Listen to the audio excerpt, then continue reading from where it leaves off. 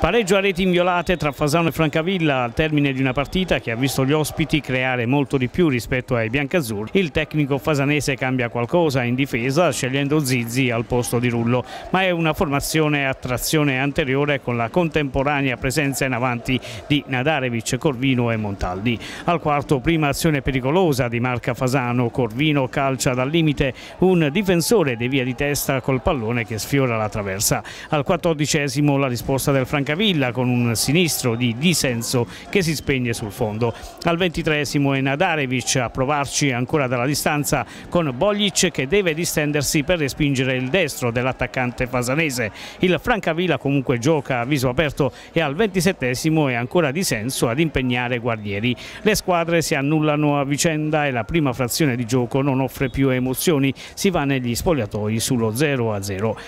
La ripresa si apre con un'occasione per gli ospiti. Al 47esimo punizione di Dauria per disenso che però di testa non trova la forza giusta per battere Guarnieri. La terza decide di cambiare qualcosa e allora fuori Ganci e Nadarevic dentro Formuso e Serri.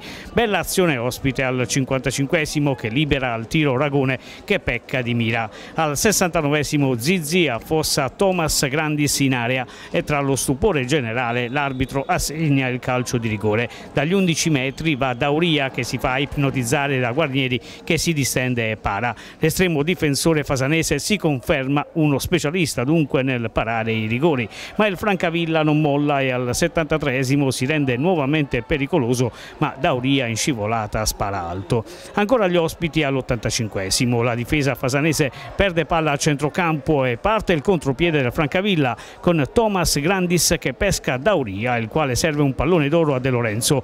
Tiro giro a giro del neoentrato ed ennesimo miracolo di Guarnieri che devia sulla traversa. Fiammata fasanese all'87esimo, Lanzillotta lancia Serri che conclude sull'esterno della rete. Al 93esimo è il Francavilla ad avere l'ennesima clamorosa occasione. Traversone di Dauria e girata di testa di Acosta su cui Guarnieri ci mette le dita deviando il pallone quel tanto che basta per farlo terminare sul palo. Finisce così 0-0 ma a recriminare sono i rossoblù di Lazic il Fasano è tutto da rivedere.